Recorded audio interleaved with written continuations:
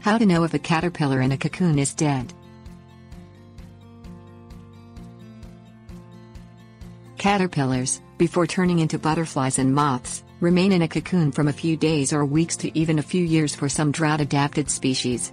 If you are raising caterpillars that have formed a cocoon, you may understandably become anxious as to whether the caterpillars are still alive.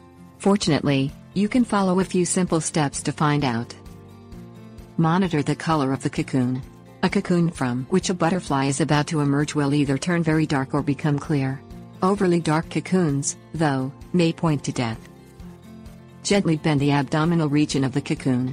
If the cocoon bends and stays bent, the caterpillar is probably dead. Be alert if the cocoon does not stay bent. A butterfly is soon to hatch. Butterflies take only a few moments to emerge from their cocoons.